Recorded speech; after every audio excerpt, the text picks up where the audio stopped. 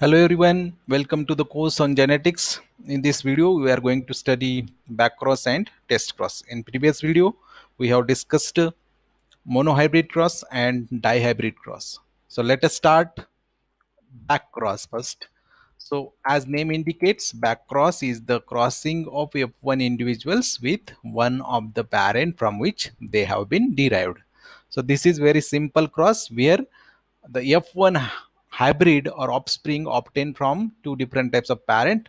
Again it is backcrossed with the one of the parent. It is called as backcross so if it is crossed with dominant parent no any recessive progeny will be appeared.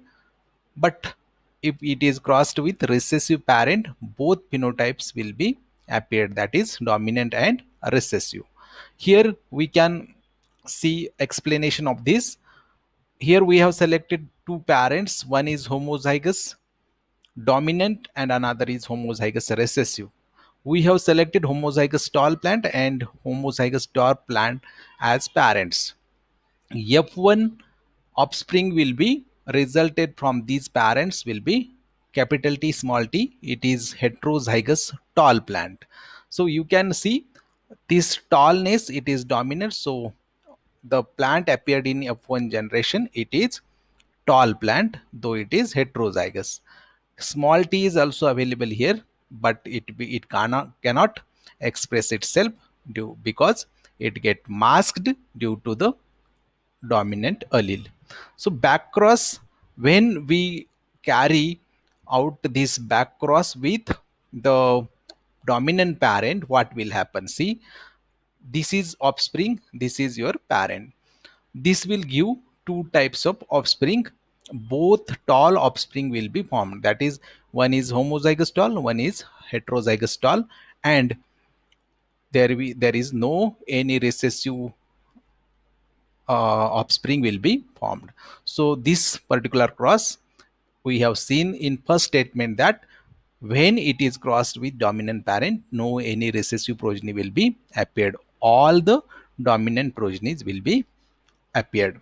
But in second case when we cross the f1 offspring with recessive parent it will give rise to two progenies.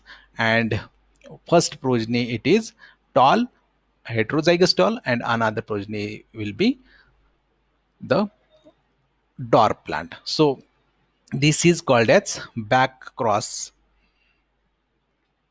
now test cross, when F1 individuals will be crossed with the recessive parent only, it is referred to as test cross. So we can say that test cross is not test cross is a back cross, but back cross is not a test cross because we are crossing our F1 individuals with recessive parent only. So it is called as test cross.